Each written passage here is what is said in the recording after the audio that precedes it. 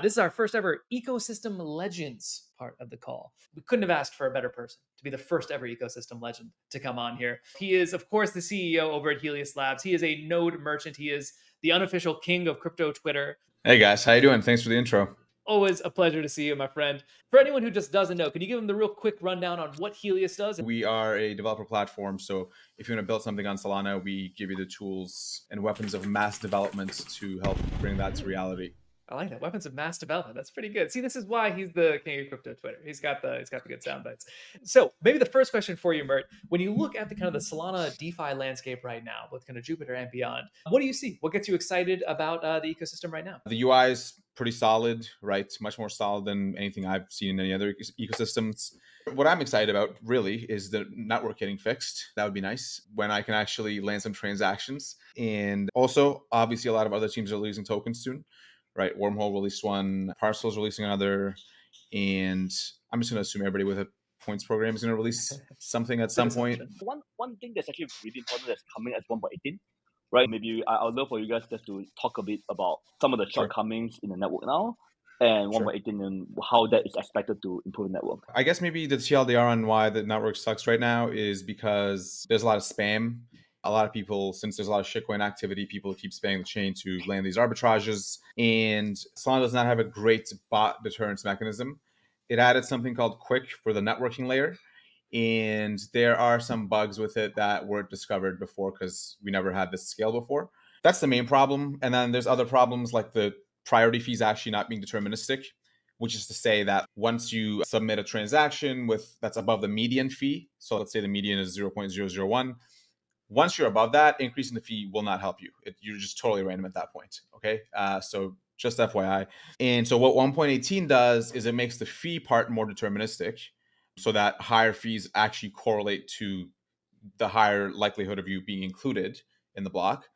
But very importantly, that will not fix the current problems on the network because everything on the network is currently a downstream consequence of the networking stack being half broken.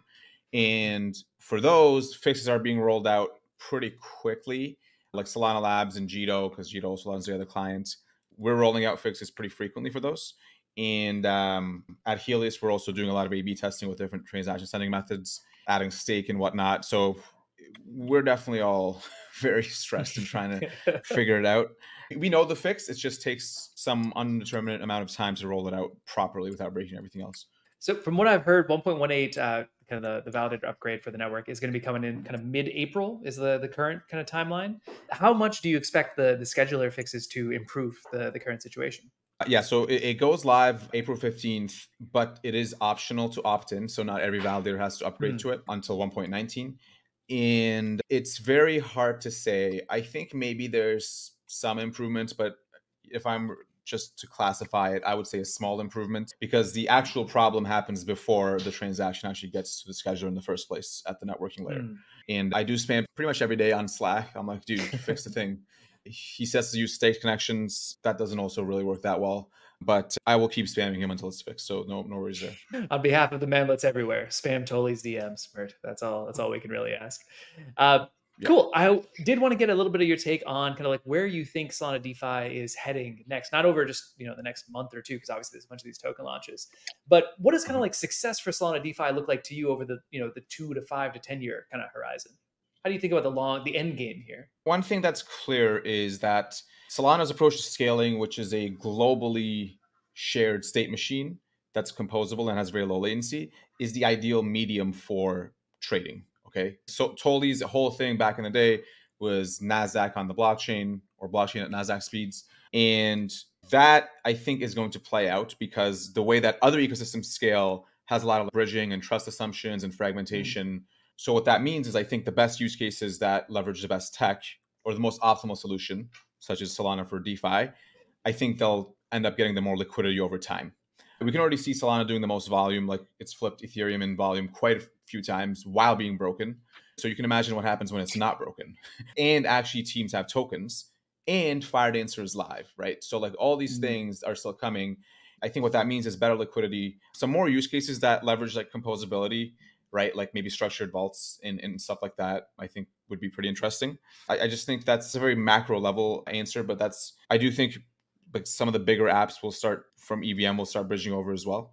Although I don't think they can really compete with Solana native teams from what, what I've seen so far. And then the other thing is like MEV. Like once MEV comes back, or once the mempool comes back from Jito, I think things get could get interesting because then you have to make sure that you're setting uh, slippage correctly, and I think like execution on the chain will improve over time pretty drastically due to those evolutionary pressures. So I think the way it plays out is that it is actually the best chain for DeFi just because of the structure of the chain. Mert, thanks so much for coming out. Go check out Helius. Go use their RPCs. Go use their DAS. Go read their blog. Some of the highest quality technical writing on Solana is over on the Helius blog as well. So big shout out over there.